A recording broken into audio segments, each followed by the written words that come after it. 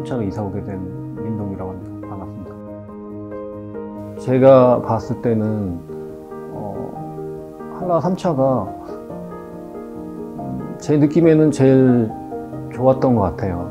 제일 편안하고 어, 저희 애들 학교도 가깝고 해서 뭐 그런 부분에서 제일 괜찮은 것 같고요.